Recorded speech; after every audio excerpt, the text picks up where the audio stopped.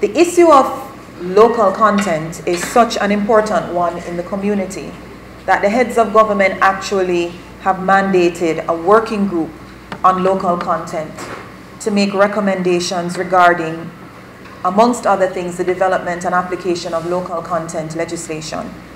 Um, in the context of the revised treaty, and I stress in the context of the revised treaty because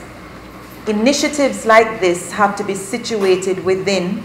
the context of the obligations that member states have assumed under the treaty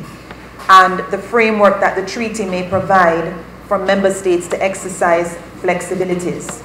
And so what I would say, I don't want to make a definitive pronouncement about how the local content legislation of Guyana is situated within the context of the treaty.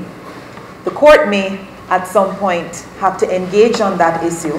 and I'm sure they will, um, whether it is through its advisory jurisdiction or otherwise, provide guidance. But I just wanted to reiterate that there's also, the issue is more systemically being addressed, not just about Guyana's local content legislation, but this policy tool overall.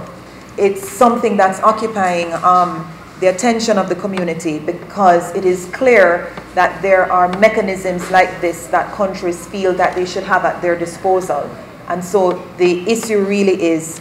how do you develop and apply measures like these within the context of the revised treaty?